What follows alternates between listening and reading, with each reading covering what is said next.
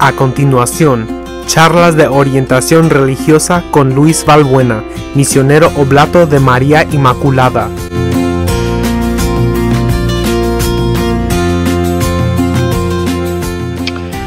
En el nombre del Padre, del Hijo y del Espíritu Santo.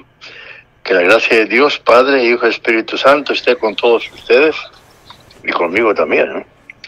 Bueno, pues estoy aquí en San Antonio, como saben, y como hace calor, tiene el aire acondicionado un poco fuerte y se me pega, se me pega en la nariz. Y como tengo la nariz larga, entonces se me pega doblemente. Pero en fin, bueno, pues seguimos. Primero un anuncio. Eh, como ya las iglesias están abiertas, pues entonces, en lugar de salir, este será el último día en que sale el domingo la charla. De aquí en adelante, pensamos mejor tenerla los miércoles y los sábados, porque para todos ustedes que van a misa, pues la misa son 45 minutos, más o menos o más, y después viene mi charla con otra media hora, es demasiado, ¿no? Bueno, entonces, el próximo, el próximo domingo, la próxima semana, comenzamos con los miércoles y los sábados. Y estos días los hemos dedicado a hablar de personajes importantes de este mes de junio. Hablamos de Juan el Bautista, ahora vienen las fiestas de San Pedro y San Pablo, el 29. Se celebran los dos juntos, entonces eh, hoy hablaremos un poco como una especie de relato de lo que sabemos de San Pedro y después de San Pablo. Hoy hablaremos un poco de San Pedro y después el miércoles que viene de San Pablo. Dos personajes, claro, vitales, importantes en el cristianismo, que, que no se conocieron, aunque podían haberse conocido, no se conocieron. Después bueno, perdonen, se conocieron después de que San Pablo ya, ya, había, ya, ya, se había convertido, pero en la juventud no se conocieron, porque en la juventud San Pablo se dedicaba a estudiar y después, más tarde, a perseguir a los cristianos. Y San Pedro pues ya estaba en su cargo de primer papa y de apóstol encargado de los demás apóstoles. Entonces San Pedro sabemos que era, dice la Biblia, que era de un pueblo que se llamaba Bethsaida. Eh, Pedro, cuyo nombre original era Simón, era hijo de un pescador de Bethsaida llamado Jonás o Juan. El propio Pedro, lo que voy a hacer es recorrer lo que sabemos de San Pedro en la Biblia y con algunos comentarios. El propio Pedro dedicó toda su juventud al oficio de pescador, junto, con su hermano Andrés. Era un hombre recio de cuerpo y despierto e inquieto de alma, que esperaba, como todos sus compatriotas, la llegada del Mesías y la salvación de Israel, dominado entonces por las tropas de invasión romanas. Esta expectativa del Mesías le llevó hacia el año 30 a Judea, porque él era de Galilea, donde predicaba entonces un extraño personaje llamado Juan el Bautista. Un día, este Juan señalará a Jesús como el Cordero de Dios, y Andrés, el hermano de Pedro, tendrá un primer encuentro con este Jesús. Es Andrés quien comunica a Pedro que ha encontrado al Mesías. Y es Andrés quien conduce a Pedro ante él. Interesante, ¿eh? Lo que hacen los hermanos. Jesús, al verlo, le dice a Simón, fíjense, tú te, llamarás Pedro. Se llamaba Simón, ¿eh? Tú te llamarás Pedro, es decir, roca. Con ello está anunciándole lo que le aclarará mucho más tarde que, está destinado para ser la roca de su iglesia. Este encuentro entusiasma a Pedro, pero vuelve sin embargo a su trabajo como pescador. Claro. Meses más tarde pasará Jesús por Besaida y verá a Pedro y a Andrés en una tarea de pescadores. Otras palabras, Andrés había ido con Juan el Bautista y Pedro después con Jesús. Pero claro, tenían que volver a alimentar a las familias, porque toda esta gente, los apóstoles, no sabemos nada más que de Pedro, es verdad, vamos a verlo ahora.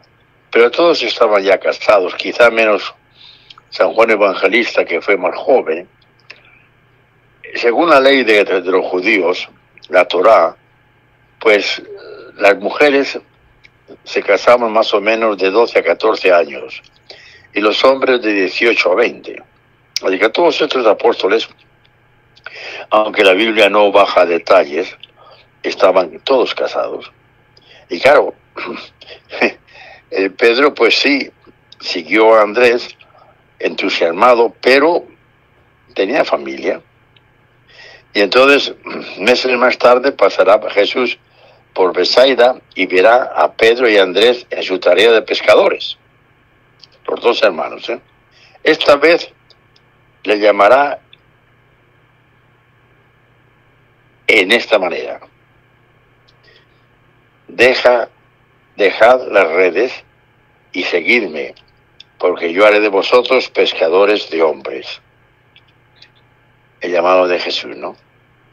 De este modo, Pedro pondrá toda su vida en manos de Jesús. Y ya le veremos siempre al lado de Jesús, como el primero de los doce compañeros del Maestro. Así Pedro, San Pedro, aparece en muchísimas escenas evangélicas, como en aquella en la que Jesús se hospeda en su casa y cura a la suegra de Pedro, que estaba enferma en la cama. Aquí sabemos que San Pedro estaba casado, como digo, como la mayor parte de los apóstoles.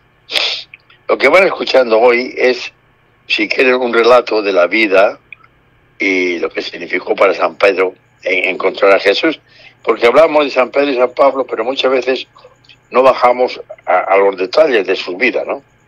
Bueno, entonces invita a Jesús a la casa y la suegra está enferma. Y dice el Evangelio que la curó y ella servía la mesa. Interesante, ¿no? Todos estos apóstoles, lo más probable es que tenía, tenían ya hijos, ¿eh?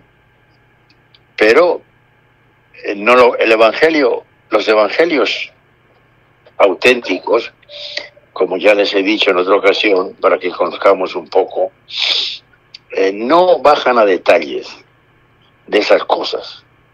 Esto de la, curación de la sobre de San Pablo, de San Pedro, sí, pero no nos dicen nada. De vez en cuando vemos que los apóstoles, incluso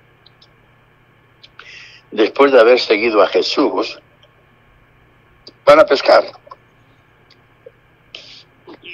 Incluso después de la resurrección, tienen que pescar. Tienen que, mantener a su familia.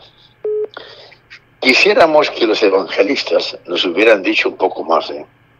pero no, en esos. Ellos van al principal propósito y fin del Evangelio, que es anunciar la figura de Jesús con los apóstoles y su enseñanza. Por eso no sabemos nada prácticamente de las familias de los apóstoles. Aquí sabemos que Jesús curó a su suegra y que era hermano de, de Andrés. Sabemos también que Santiago y San Juan eran hermanos sabemos el nombre de los padres, pero nada más. Lo demás no le interesaba a los evangelistas, aunque a nosotros ahora, con la curiosidad que tenemos, nos hubiera interesado, ¿verdad? Bueno, entonces, después de curar a, a su suegra, en el momento más importante de la vida de Pedro, es aquel en que a las orillas de Gedesaret, el lago, ¿eh? Jesús le nombra jefe de su grupo, cabeza del colegio apostólico y clave de su iglesia. Con estas famosas palabras que todo el mundo conocemos, ¿no? Tú eres Pedro y sobre esta piedra edificaré su iglesia, mi iglesia, y yo te daré las llaves del reino de los cielos. Bueno, interesante, en el Antiguo Testamento, los nombres significaban casi siempre la misión de esa persona. Entonces, Pedro se llamaba Simón. Entonces Jesús le cambió de nombre y le llamó Pedro. Porque más adelante vamos a ver cómo dice, sobre ti edificaré la iglesia. El primer papa, ¿no? Es interesante todo esto.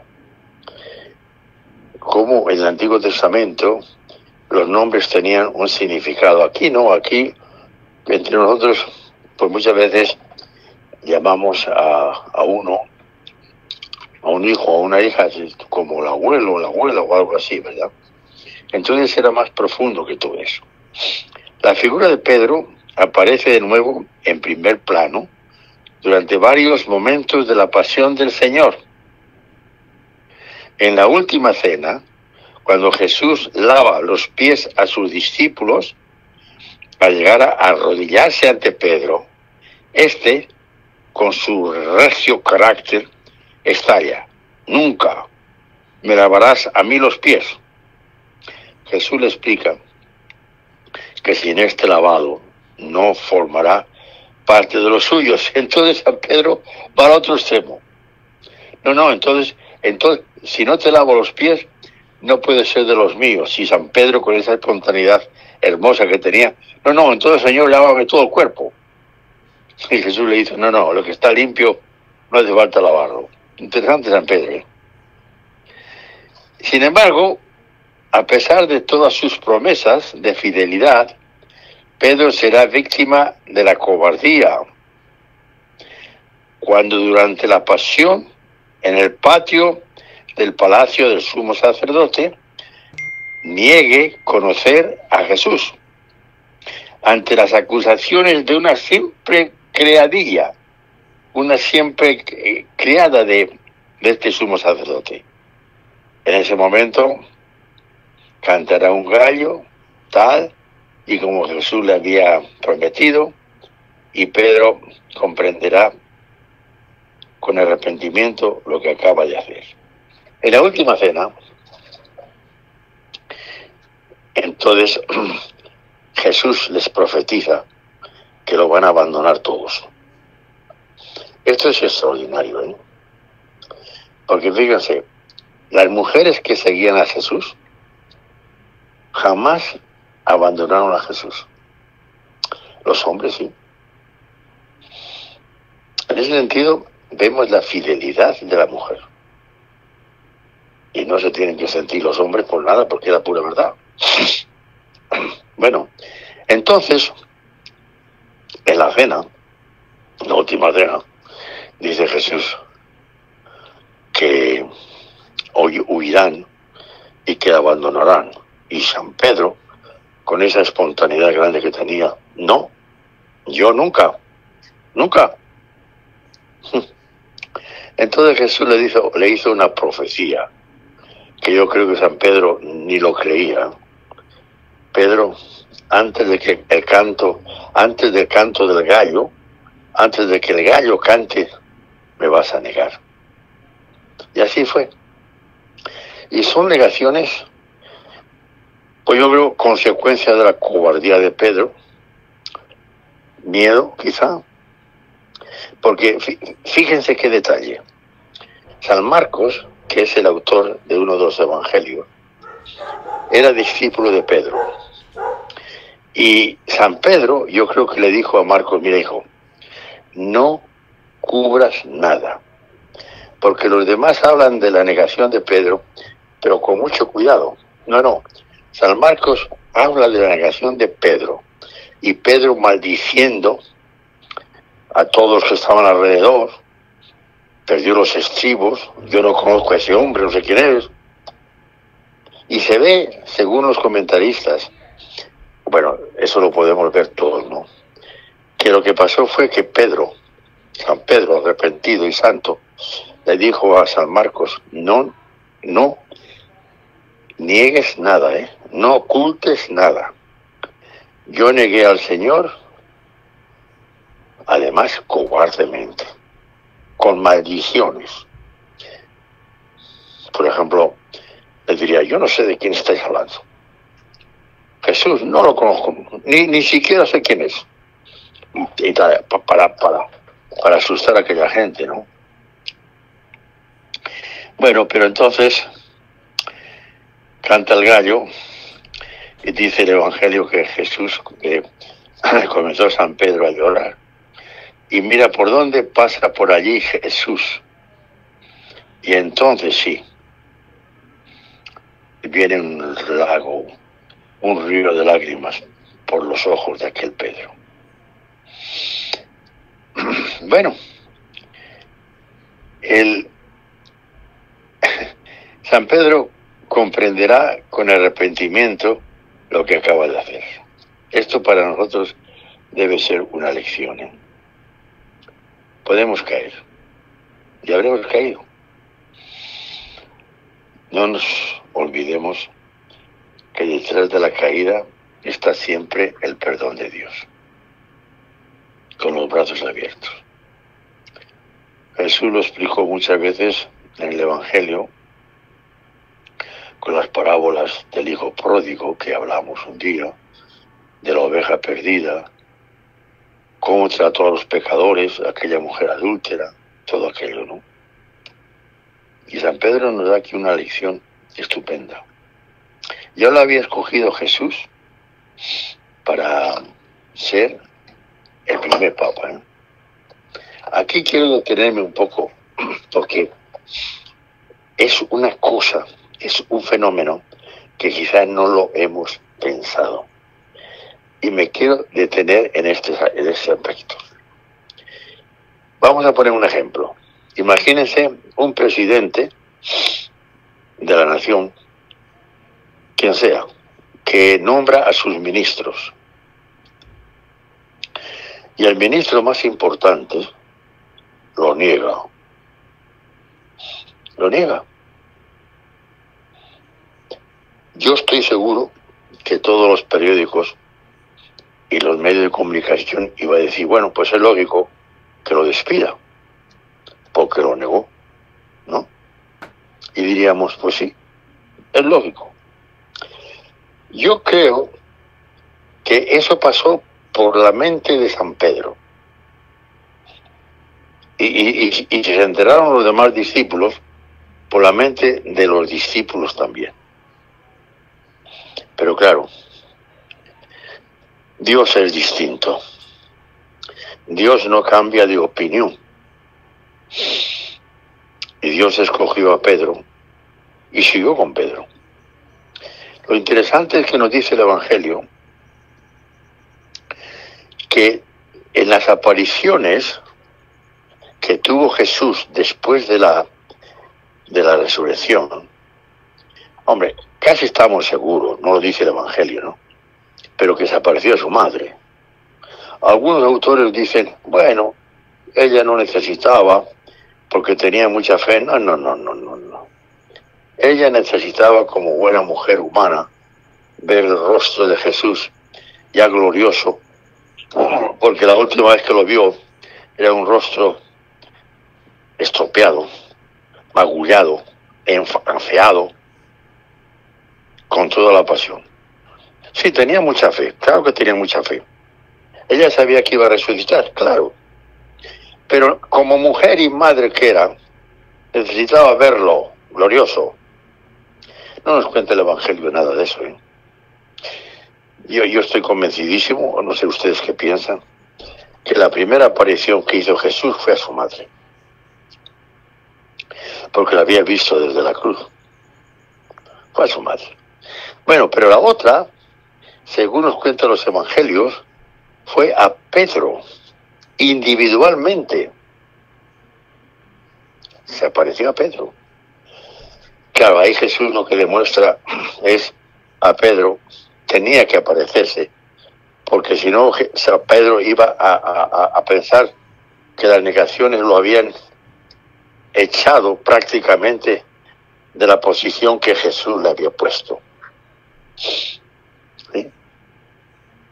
Y no, Dios no cambia de opinión. Podemos caer ¿eh? en pecado y caemos en pecado, pero el amor que Dios nos tiene nunca cambiará. El hijo pródigo, ¿se acuerdan? Cuando viene de derrochar su dinero en malas compañías, en malas vidas, el, el padre tenía que haberle dicho, según nuestros criterios humanos, mira hijo, entra en la casa, pero claro, ya no va a ser como antes, ¿eh? Porque esto que hiciste, esto que me hiciste, te perdono porque eres mi hijo, pero que me hiciste, apuntando con el dedo, ¿no? Como hacemos nosotros. No, nos dice la parábola que salió, ya lo expliqué, pero vale la pena para compararlo con San Pedro ahora. Salió a recibirlo y le echó los brazos al cuello, sucio que venía de cuidar cerdos. Pero entra a la casa y, y, manda que lo bañen, que lo perfumen y, un detalle muy importante, le volvió a poner el anillo, queriendo decir que era otra vez parte de su heredad. Es un detalle extraordinario. ¿eh? Podría haber dicho el hijo pródigo, bueno, yo contento aquí con comer y con estar cerca de ti. No, dice el Evangelio, póngale el anillo otra vez. O sea, olvídense de lo que pasó. Y va a seguir siendo hijo mío con todas las consecuencias y privilegios. Eso le pasó a Pedro. Necesitaba que se apareciera Jesús. Porque Pedro, aunque conocía a Jesús y había oído la parábola del hijo pródigo, yo estoy completamente seguro que Pedro no las tenía todas consigo. No sabía. Él escogido por Jesús, cambiándole el nombre y después negándole. Por eso Jesús, qué lindo, ¿no? Qué lindo es Dios la primera aparición fue a él, a reforzarle. Pero claro, necesitaba al mismo tiempo que los apóstoles se dieran cuenta de que Pedro seguía siendo siendo Pedro. Claro, porque la aparición a Pedro parece que fue privado. Pero los apóstoles sabían lo que había pasado. Y ellos, con esa mente cerrada que tenemos los humanos, lo más probable que pensaron, no, ahora Jesús va a cambiar de opinión y qué sé yo, pondrá al frente de la iglesia, pues quizá a San Juan, que estuvo cerca de la cruz con su madre, el más indicado, ¿no? Algo por el estilo. Aquí somos nosotros los humanos, ¿no? Naturalmente. Por eso nos cuenta el Evangelio que después de la resurrección, los apóstoles volvieron a pescar. Y aquí fue iniciativa de Pedro, que les dijo, voy a pescar. Nosotros también. Claro, tenían que alimentar a la familia, ¿no? Y toda aquella región se alimentaban del, del lago. Estaban pescando, no pescaron nada una noche malísima. Y mira por dónde Jesús se aparece. Bueno, ven a uno, un tipo interesante pasear allí por la playa. Hmm. Y, y dice San Juan, a San Juan le dice a, Pedro, es el Señor. Entonces Pedro nos dice el Evangelio, estaban casi desnudos, pescando, ¿no? un taparrabos y nada más. Dice el Evangelio que se puso la túnica, etcétera, y se tiró, en lugar de esperar a que la, la barca llegara, no, él se tiró, tan ardientemente amaba a Jesús. Se tiró. Y a Jesús mismo, interesante este, este detalle, les había hecho el desayuno. ¿Se imaginan?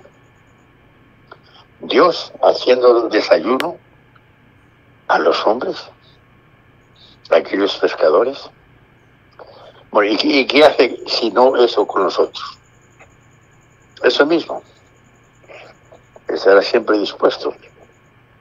Si nosotros nos convertimos a Él.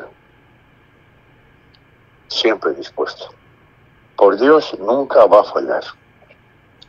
Bueno, entonces bajan a la playa y le dice Jesús, bajen, bajen, traigan algunos de los pescados que, que pescaron y pero ya tenía él, dice el Evangelio, unos pescados en las brasas. Jesús, extraordinario, ¿eh? Dios haciendo el desayuno a los hombres. Eso sigue igual, ¿eh? Eso sigue igual. No uno va a hacer el desayuno en la playa con aquellos pescados del río, del lago de, de, de Genesaret. No, de Galilea. Pero es lo mismo. Sigue a nuestras órdenes. Dios. ¿Creen que me equivoqué? No, no. Se ha puesto a nuestras órdenes como un padre bueno, un hermano bueno se pone siempre a las órdenes de los demás, porque el amor es lo que hace. Cuando tú amas, y yo amo, de veras, ese amor que tenemos nos hace ponernos a las órdenes de tu esposa, de tu esposo, de tus hijos, etcétera. Bueno, entonces se ponen a desayunar.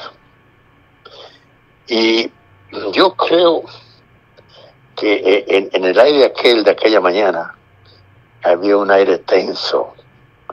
Era la primera vez que Jesús aparecía a todos.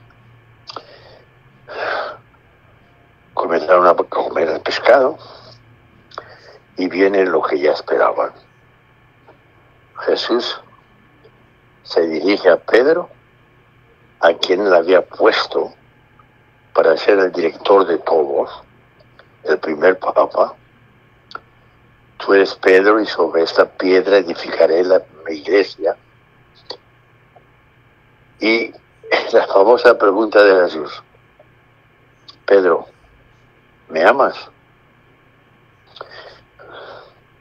Sí, Señor, tú sabes que te amo siguen comiendo. Yo me imagino que a San Pedro se la tragó el, pescado que estaba comiendo, ¿no? Un silencio profundo, me imagino. Jesús con esa cara de sonriente que siempre tiene. La segunda, tres negaciones, tres preguntas. Pedro, ¿me amas? Sí, Señor, tú, sabes que te amo. Apacienta mis corderos, ovejas y corderos. Bueno, sigue un silencio tenso, pero al mismo tiempo ya un silencio amoroso, porque ya dos veces le ha dicho que siga donde estaba. Ahora viene la tercera. Y la tercera, tres negaciones, tres afirmaciones de amor. Pedro, ¿me amas? Y aquí Pedro ya con esa espontaneidad que tenía, Digo, sí, Señor, tú sabes que te amo. Y entonces te negué, pero tú sabes que te sigo amando. Igual que nosotros, ¿no? No podemos cometer pecados, pero Dios sabe que seguimos amando de verdad. A pesar de nuestros pecados. Y por ser pecadores, con más razón si fuéramos todos justos, podríamos chulearnos de algo, ¿no? Bueno, volviendo a San Pedro. Apacienta mi rebaño. Y allí, para sorpresa de todos, Jesús deja a Pedro en el lugar donde lo había puesto, en el lugar donde lo había puesto, como el primer papa. Eso es extraordinario. Solamente esas cosas las puede hacer Dios. Lo negó, lo renegó. Con maldiciones, dice el Evangelio de San Marcos. Y estoy seguro, como les dije, que fue el mismo Pedro el que le dijo, no, no, no, no deje nada en el tintero, ¿eh? escríbelo todo. Con miedo que tenía, maldije. Mm. Bueno, entonces, apacienta mis corderos, apacienta mis ovejas. Y Pedro quedó, como había hecho Jesús, el primer papa. Bueno, por eso ya vemos y después ya viene todo este tiempo, esos 40 días que pasa Jesús con los apóstoles. Ya como saben, hemos dicho esto, ya no andaba con ellos, porque su presencia ya no era física, era real, pero no física. Se hacía física de vez en cuando, pero ya era la presencia de Cristo resucitado, la misma que vamos a tener nosotros más tarde, la misma que tienen nuestros seres queridos difuntos, una presencia real, pero no física.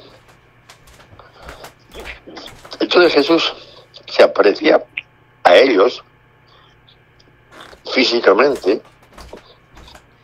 como ellos lo dudaban todo. Entonces un día Jesús le dijo, bueno, pero que no es un fantasma, Nada, ellos no podían ver aquello. ¿No ven los clavos? Mira. A Santo Tomás le dijo, tú, mete la mano en, mi llaga del costado, como dijiste. Nada, no, no, no acababan de entender eso. Entonces fue cuando Jesús iba, venía, se aparecía, no se aparecía, les decía, pero antes de subirse a los cielos, él quiso dejar bien claro lo que había hecho antes. Dejar a Pedro como el encargado. Y efectivamente, vemos que viene el Espíritu Santo el día de Pentecostés y es Pedro el que echa el primer discurso de la iglesia, como tenía que ser, ¿no? Era el Papa. Y dice el Evangelio que se convirtieron unos cuantos miles. Pero qué casualidad, ¿no? Que fue Pedro. No fue Santiago, no fue San Juan, no fue Pedro. Allí estaba la Santísima Virgen también, ¿eh? Porque acuérdense que el Evangelio dice que estaba María con los apóstoles cuando vino el Espíritu Santo. Allí estaba la Santísima Virgen también. Pero fue Pedro el que echó el primer discurso. Y así fue ya después. Vemos por los hechos de los apóstoles como Pedro lidiaba la iglesia. Va a Roma, allí se encuentra con San Pablo. Se encontraría antes, por ahí sabemos. Y era él el que después de Jerusalén se fue a Antioquía, donde eh, los cristianos habían crecido muchísimo. Allí en Antioquía fue donde por primera vez los, los seguidores de Cristo se llamaron cristianos. Nos llamamos cristianos. Antes decían nazarenos por Jesús de Nazaret, pero no, cristianos. Allí fue. Allí estaba San Pedro. Y después en sus viajes llegó a Roma y allí estuvo unos 10 años, más o menos, pero al mismo tiempo, por lo que vemos, eh, intercalaba los viajes a la, a la iglesia naciente que ya estaba en algunas partes. Y después, como sabemos, volvió a Roma y en el año 46 más o menos, no nos dicen los evangelios cuándo, pero calculamos que desde el año 46 de la era de Cristo, pues allí en una persecución de Nerón, este emperador tan cruel, en el circo de Nerón, que estaba en lo que es ahora el Vaticano. Acuérdense que el Vaticano, esta palabra Vaticano no es nueva. ¿eh? Roma está edificada en siete colinas. Se ven todavía. Una de ellas era el Vaticano. Y tenía allí Sidrón el círculo. El circo y los jardines y todas las demás cosas. Ahí fue donde murió San Pedro. Y según la tradición, no es que lo diga ningún documento, pues murió crucificado, pero San Pedro en su humildad y en su santidad dijo que no era digno de morir crucificado como su maestro, que lo crucificaran pero cabeza abajo. ¿Será verdad o no será verdad? Esa es la tradición. Y allí murió. Bueno, ¿qué hicieron los cristianos? Como hacían con todos. Fueron y recogieron su cuerpo con mucha devoción y lo enterraron allí mismo, muy cerca de donde había muerto, con una, en una tumba muy simple de seis tejas entrecruzadas. Se descubrió eso más tarde. Se descubrió eso más tarde. Allí fue donde Constantino, convertido, edificó la primera basílica, grande para aquel tiempo, pero muy pequeña en comparación de la que hay ahora. Si alguna vez ven alguna fotografía del Vaticano actual, se fijan que cerca de esas columnas enormes que le puso Miguel Ángel al Vaticano, a la, a la basílica, hay otras cerca pegadas, mucho más pequeñas. Esas son las columnas que tenía la primera basílica de San Pedro que edificó Constantino, el hijo de Santa Elena. Entonces, más adelante, claro, todo estaba vivo en la tradición, pero fijaros qué interesante. Ya termino con esto.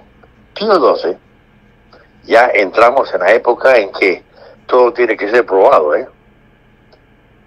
Pío XII había sido embajador del Vaticano en Alemania y conoció a algunos científicos y entonces pidió que vinieran y excavaran allí donde, según la tradición, había sido enterrado San Pedro.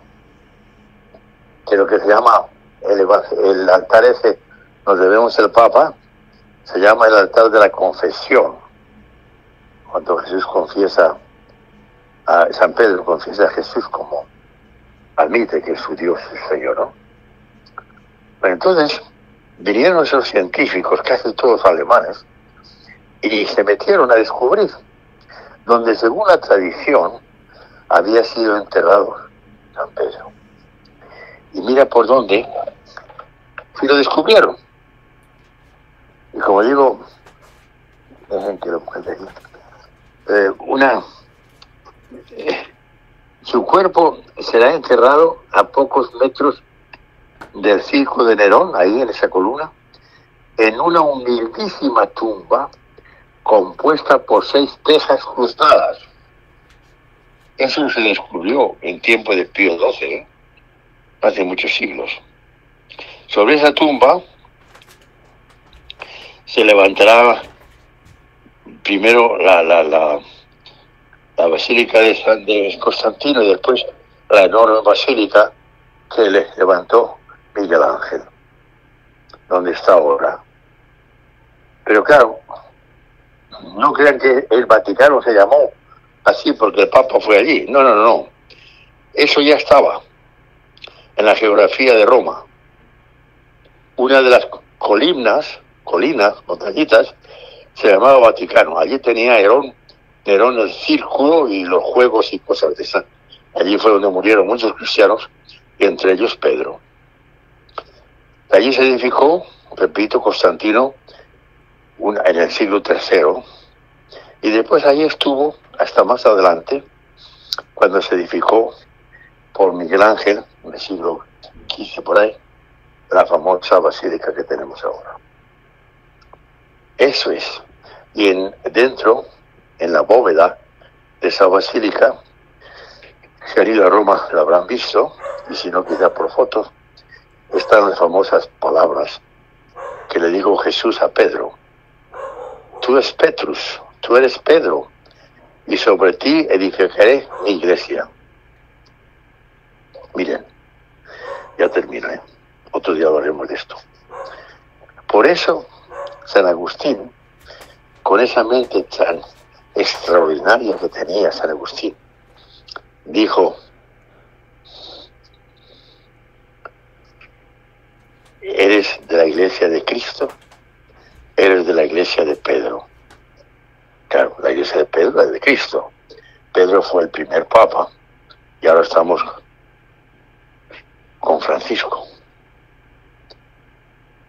El que no siga esa tradición de papas que comenzó San Pedro, pues realmente se retira de lo que quiso Jesús. No es que los católicos hayamos inventado. No, no, es que tenemos una lista desde San Pedro hasta Francisco. Como tenemos una lista desde Washington hasta el actual presidente. Por años.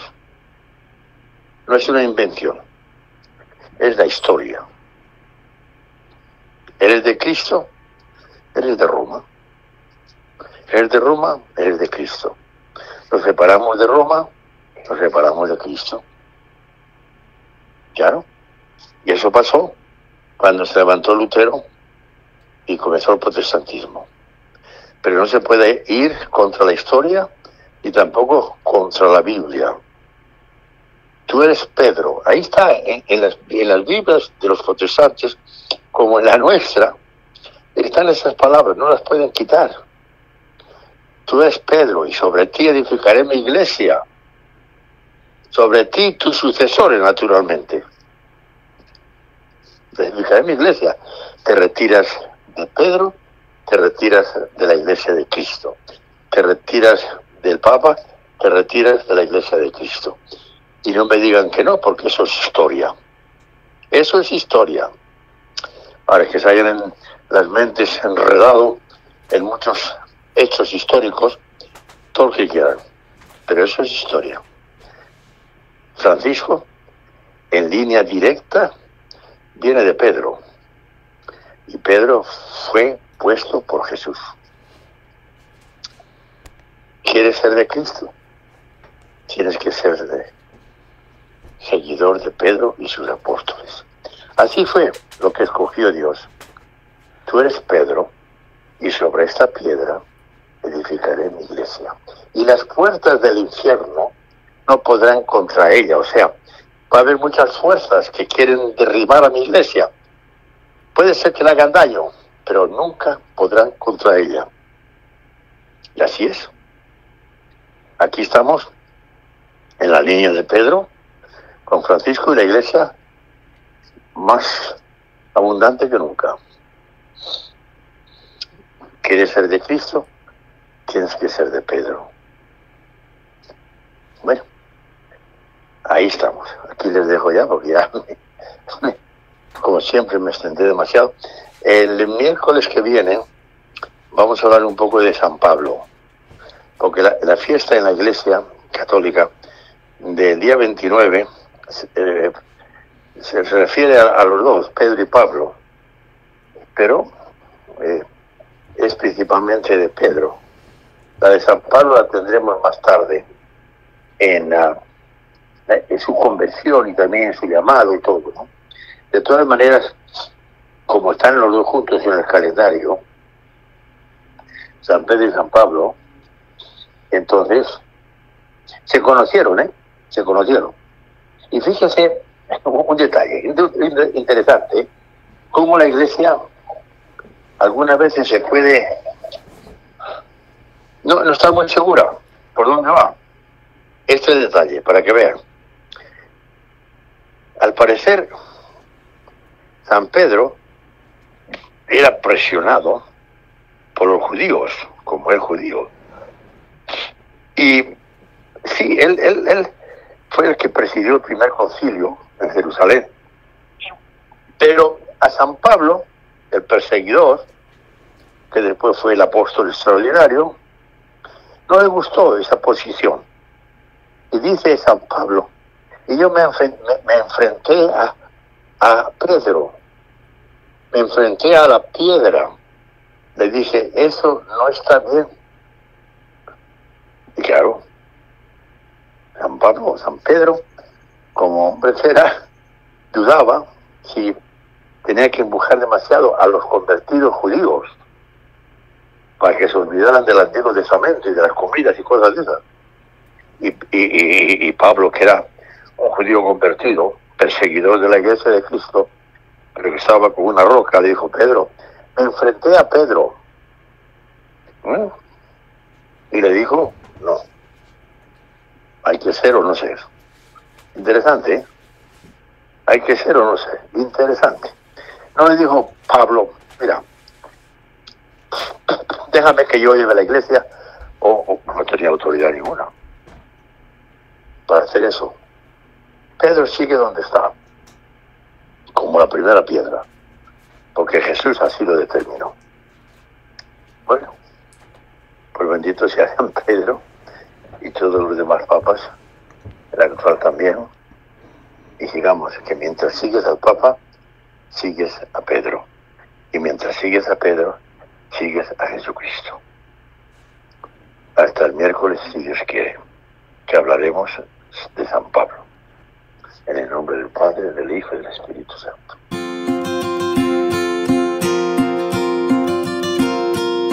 Gracias por acompañarnos en charlas de orientación religiosa con Luis Valbuena, misionero oblato de María Inmaculada. Valores Media. Vive tu fe, vive tus valores.